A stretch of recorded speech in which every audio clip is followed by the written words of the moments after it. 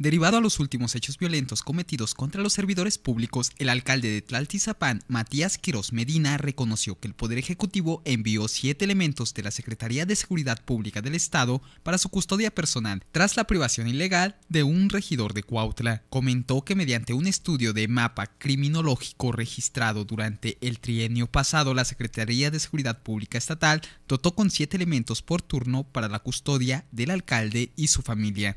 Particularmente debo decirles que en el caso de Tlalzapán, en base a los estudios de hechos delictivos que han ocurrido en el municipio, en sus antecedentes mensuales previos a mi ingreso, llevó a que hoy la Secretaría de Seguridad Pública me ha asignado seguridad. ¿Usted se va a sumar? Tengo seguridad pública para, para mi persona, para la familia, son eh, siete elementos por turno. Quiros Medina informó que tras la firma de convenio de mando único, su localidad cuenta con diversos operativos de seguridad por parte de elementos de la policía acreditable y de la milicia, luego de señalar que por el momento cuenta con solo 60 policías para la custodia de la ciudadanía. Con información de Erika Abraham e imágenes de Marcos García, Noticieros El Regional.